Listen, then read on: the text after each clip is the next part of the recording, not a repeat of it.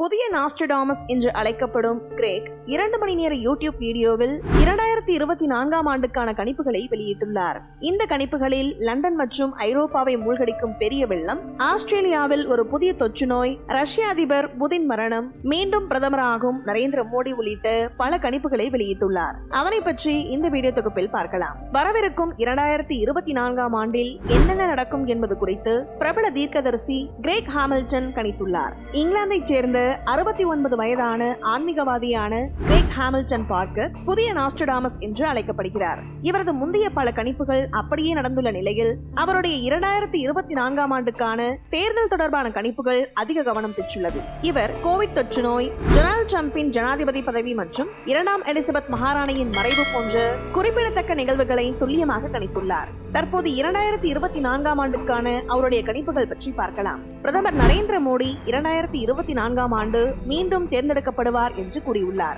நரேந்திர நரேந்திர மோடி தேசத்தை வழிநடத்துவதில் உறுதியாக இருப்பார் அரசாங்கத்தை நவீனமயமாக்குவதற்கான குறிப்பிடத்தக்க முயற்சிகளில் இறங்குவார் என்று ஹாமில்டன் பார்க்கர் தெரிவித்துள்ளார். இந்த முன்முயற்சிகள் அரசாங்க அமைப்புகள் மற்றும் காவல்துறையில் ஊழலை ஒழிப்பதை இலக்காக கொண்டு மிகவும் வெளிப்படையான மற்றும் பொறுப்பான அமைப்பை வளர்க்கும் என்று அவர் குறிப்பிட்டுள்ளார். அடுத்ததாக அமெரிக்க அதிபராக ட்ரம்ப் தேர்ந்தெடுக்கப்படுவார் என்று தெரிவித்துள்ளார். அமெரிக்க ஜோ பைடனை சூழ்ந்துள்ள நெருக்கடி அமெரிக்க தேர்தலை தாமதப்படுத்த அல்லது நிறுத்துவதற்கான சவால்கள் மற்றும் முயற்சிகள் குறித்தும் அவர் கணித்துள்ளார். இறுதியில் இந்த தேர்தலில் ட்ரம்ப் வெற்றி பெறுவார். ட்ரம்ப் மீண்டும் ஆட்சிக்கு வர ஒரு கருப்பின பெண் உதவுவார் என்று அவர் கூறியுள்ளார்.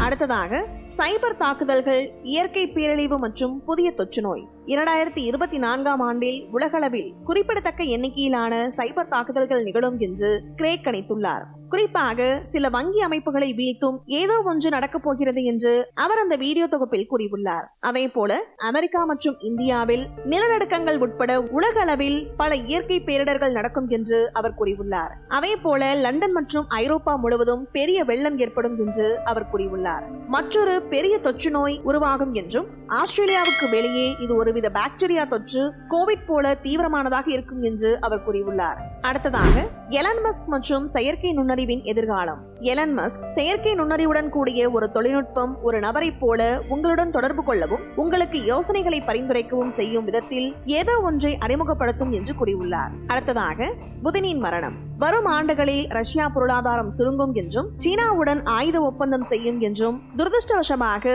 குறிப்பாக உக்ரைன் போரில் இது நடக்க தொடங்கும் என்றும் கூறியுள்ளார். அதே போல ரஷ்ய அதிபர் புதின் இன்னும் நீண்ட காலத்திற்கு உயிருடன் இருக்க மாட்டார். அவரது மரணத்தால் உக்ரைன் போர் முடிவுக்கு வரும் என்று அவர் கூறியுள்ளார். அடுத்ததாக புதிதாக களமிறங்கும் இந்திய கண்டுபிடிப்பு. புதுப்பிக்கத்தக்க எரிசக்தி துறையில் குறிப்பாக சூரிய சக்தியில் இந்தியா கவனம் செலுத்தும் என்றும் இதனால் புதிய கண்டுபிடிப்புகள் நிகழும் என்று அவர் கூறியுள்ளார்.